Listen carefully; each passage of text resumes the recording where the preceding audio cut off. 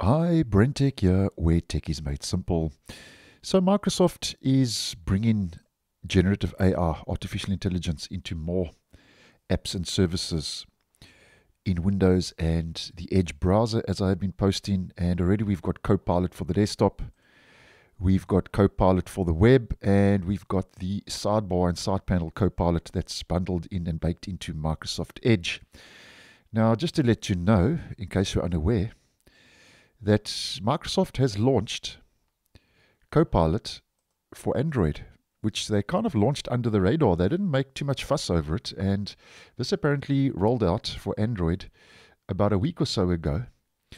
And as many of you may know on Android devices, um, you can already use Copilot and Bing Chat uh, in the Bing app and also in the Microsoft Edge app um, on your Android device. And now they've rolled out a dedicated Copilot app for Android devices. So just bringing this to your attention in case you are unaware. And we don't really talk about Android too much on the channel, but I thought that because we do focus quite a bit on Copilot and what Microsoft is doing in the development um, of AI, I thought I'd just let you guys know.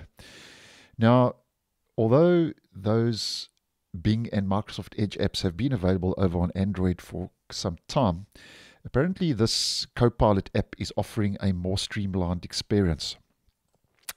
And if we just head over to one or two screenshots uh, provided, here we can see more or less what it looks like on an Android device.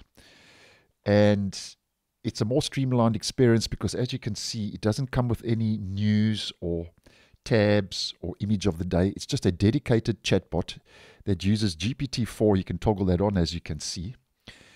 And it's obviously free, like um, the one that's bundled into Windows 11, Copilot for the web, Microsoft Edge, and so on.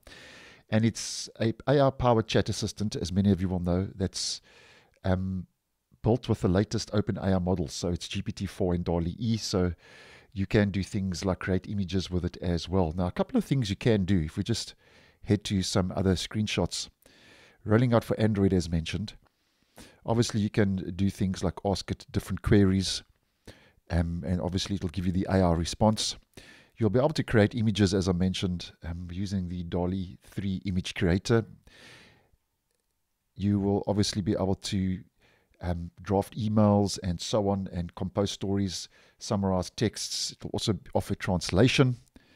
And yeah, we've got a couple of other things you can do build a resume, find inspiration, play games, give advice. So it's very similar to what we get over on desktop.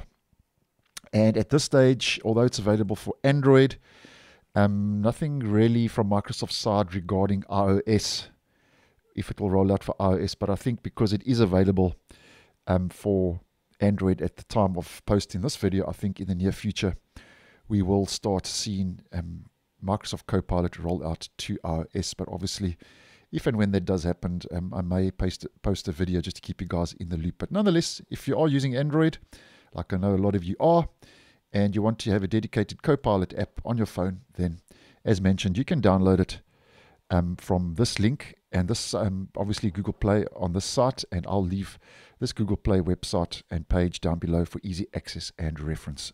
So thanks for watching, and I'll see you guys in the next one.